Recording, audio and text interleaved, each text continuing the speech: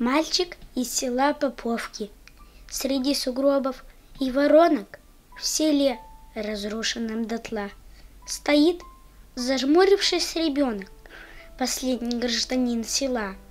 Испуганный котенок белый, обломок печки и трубы. И это все, что уцелело от прежней жизни избы. Стоит белоголовый Петя и плачет, как старик без слез. Три года прожил он на свете, а что узнал, что перенес? При нем избу его спалили, угнали маму со двора, и в наспех вырытой могиле лежит убитая сестра.